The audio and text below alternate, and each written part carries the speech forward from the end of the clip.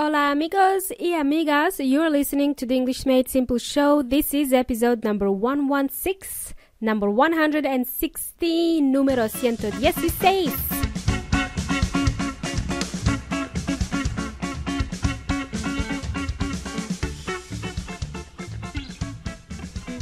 Hey muchachos y muchachas, welcome to the English Made Simple show. My name is Milena from the EnglishMadeSimple.net, EnglishMadeSimple.net.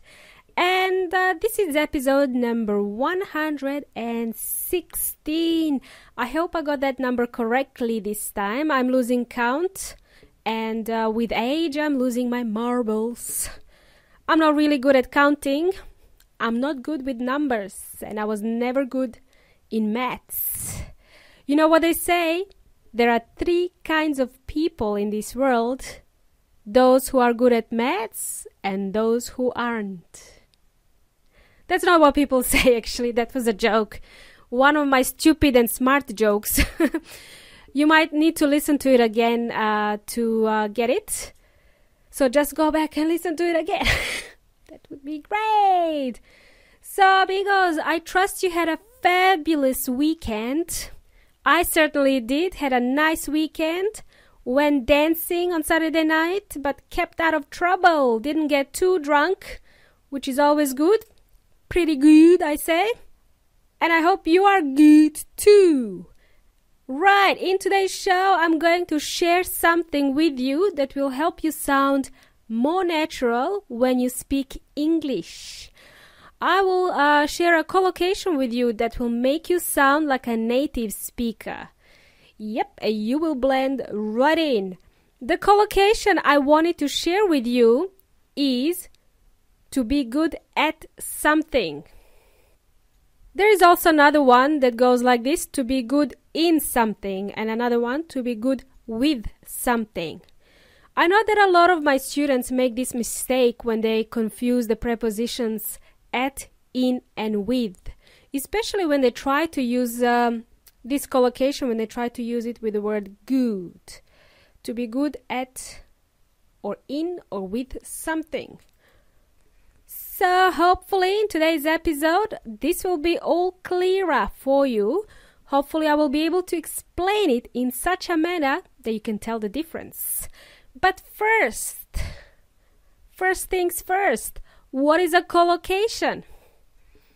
What is a collocation? I have already covered this in episode number 15, 1 5, 15.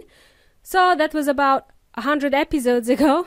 You will um, have to hop into your time machine and check out episode number 15 uh, called Learn English with Collocations and Speak Like a Native Speaker. Wow, I love that title. That was a good title for the show.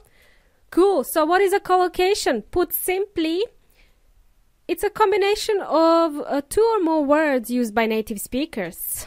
And when these two words are put together, uh, they just sound correct. Uh, they sound correct to the people who have been speaking the language all of their lives. Let me give you a quick example. An example of a common collocation would be to make a mistake. To make a mistake sounds correct, not do a mistake. We don't say do a mistake, we say make a mistake. You see, that's a collocation. Make a mistake sounds right to the native speaker. Make a mistake. In Spanish, this is cometer un error o equivocarse. Cool! Check out episode number 15 for more examples. That was back in the day when I first started out with podcasting. You can tell I wasn't really good at it. And I'm still learning. My editing skills have improved, though. Um, it does take a lot of time and patience to become good at podcasting. Right, nobody cares, Milena. As my husband would say, nobody cares. A nadie le importa. Right, let's continue. So, when do we use to be good at something? When do we use to be good in something? And when do we say to be good with something? By end of today's episode, I want you to practice these phrases. Practice them out loud so you get used to saying them.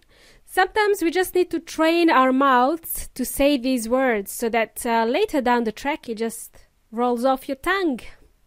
Rolls off the tongue. This is an expression actually. Let me quickly tell you what it is and I will try not to go off topic today. In Spanish, this would be algo como soltar la lengua.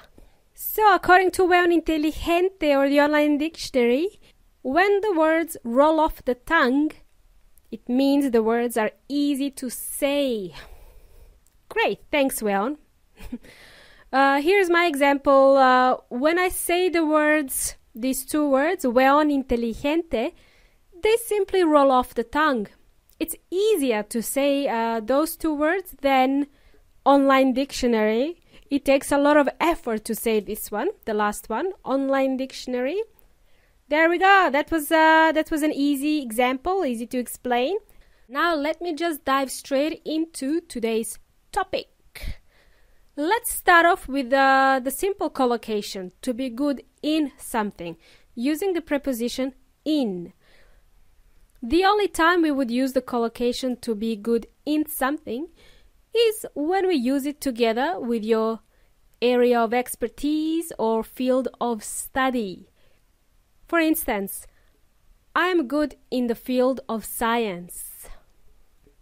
At the beginning of today's episode, I said something like, I am not really good at counting, I'm not good with numbers, and I was never good in maths. If you say I was never good in maths, mathematics, it refers to the physical place, the maths class. I was never good in the mathematics class. Uh, this is what the collocation would imply. This would probably mean that I could uh, never concentrate in the class. I would often get uh, distracted in the class. And as you know, I do like to talk a lot, so calculating formulas was never my forte, my strongest skill. So now I hope uh, that made a little bit of sense. What you need to know here is that we seldom use this type of collocation to be good in something. We seldom use this type of collocation. What is this word seldom now? Good question, amigos. I did explain it in the last episode 114, 114. It just means not often. The expression is seldom used, meaning it is not often used. Right, uh, the next two collocations that I'm going to share with you today are the ones uh, that are used regularly by native speakers, and these are the ones uh, that you will have to pay special attention to. To be good with something and to be good at something. When you want to use the phrase to be good with something, you would use it when talking about specific objects or people. For example, I am not good with children. I don't know how to talk with them. I was never good at maths. So you could say that I'm just not good with numbers. I'm good with money. It means I don't like to spend money for things that I don't need. I prefer to save money. I am good with money. Are you good with money? Another example if you want to volunteer at an animal shelter, you have to be good with animals.